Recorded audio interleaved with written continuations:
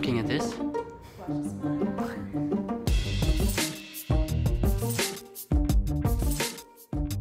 Creative Tensions is an on your feet conversation that cracks open dialogue on challenging and fascinating topics. Creative Tensions grew out of a, a, very simple exercise that all drama students do to learn how to become better actors. IDEO was looking at how to disrupt the panel conversation at conferences and how to engage people. And Sundance Theater Program was looking to find new ways to express their creativity.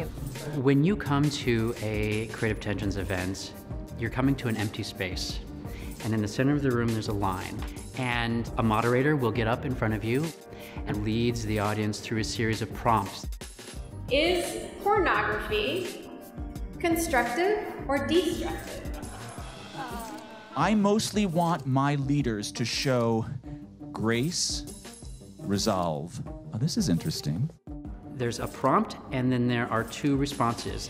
The audience sort themselves in the room from one side to the other. It's a format that enables people to show where they stand on an issue by physically voting with their body.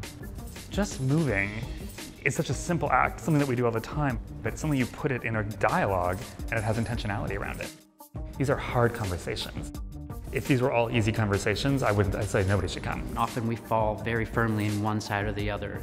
But through meaningful dialogue, we can actually listen and hear and be changed. Nowadays, according to the narrative that's been established, to be graceful is to be radical. to care for the other is radical, and that is an action.